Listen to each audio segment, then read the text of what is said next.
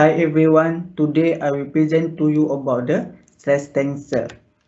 So what is actually stress tensor? Stress tensor is a simply a convenient, consist way of expressing the stress state inside of a material. It also can be defined as the quantity which has magnitude with a multiple direction.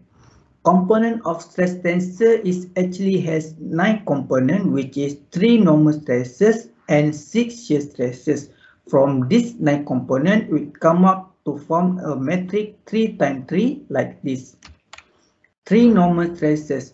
Its subscript identify the phase on which the stress at. So XX is our subscript, YY is our subscript, and ZZ is our subscript.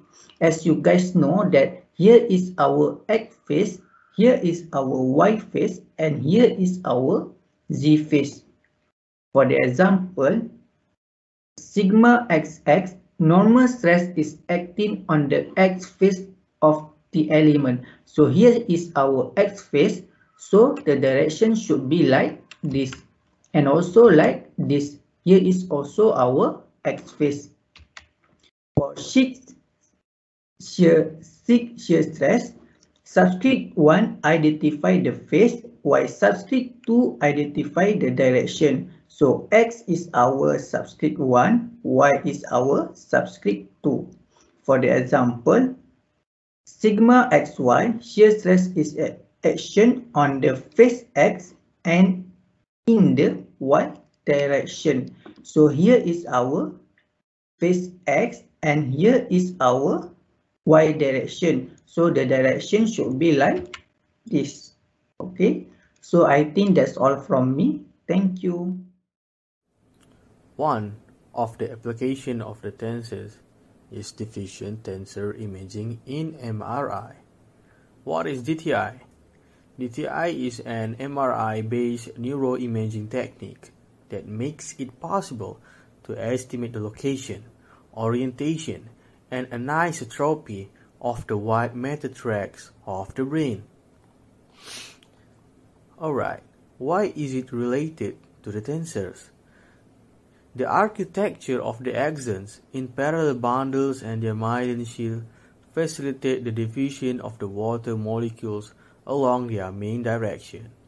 If we apply the diffusion gradients in at least six non-collinear directions, it is possible to calculate for each pixel a diffusion tensor. There are 3 by 3 metrics that describe this diffusion anisotropy.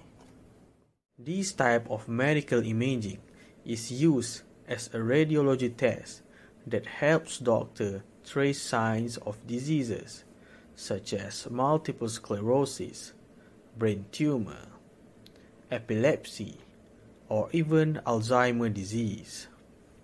Even so, the DTI technology still presents limitations as there are certain obstacles that the water molecules may encounter inaccurate images and therefore misdiagnose patients. Okay, now I would like to present one of application of tensor and mechanics, that is to represent strain. Strain is the amount of deformation experienced by the body in the directions of force applied divided by the initial dimensions of the body.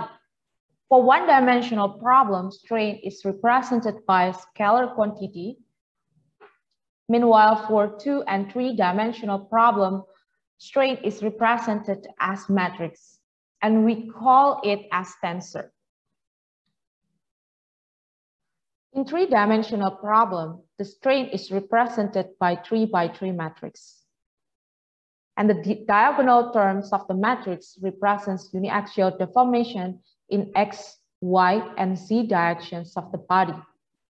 This component of strain is called normal strain. As an illustration, a cake is pressed in vertical directions such as depicted in the figure. After the compression, there is deformation in the vertical Y directions. it can be said that the cake experienced normal strain. For off-diagonal terms in the strain tensor, they are called shear strain. Shear strain represents shear deformation, and they have symmetry properties. Here is the illustration.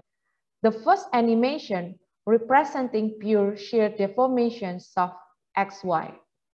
We can see that only bases xy are having changing angle. For all other faces, the perpendicular corner are remained. Okay, I have explained about the representation of strain in the tensor form. In three-dimensional problem, there are two components of strain tensor. They are normal and shear strain. That is my explanation about one-off tensor application in the mechanics.